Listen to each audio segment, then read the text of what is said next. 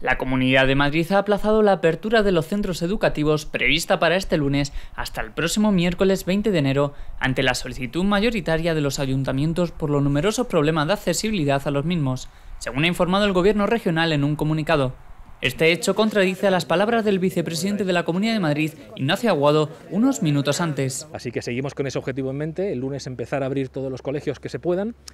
y ojalá que a lo largo de la próxima semana no haya ningún colegio con, dificultades. Trabajamos para ello. En el día de hoy, varios padres del centro escolar San Ignacio de Loyola en Alcalá de Henares han acudido a sus inmediaciones para limpiar los accesos. Con este aplazo, la Comunidad de Madrid ha programado una vuelta a la actividad educativa presencial de manera escalonada, de tal manera que las clases presenciales se iniciarán el próximo miércoles para los alumnos de educación infantil, primaria y especial de primero y segundo de la ESO.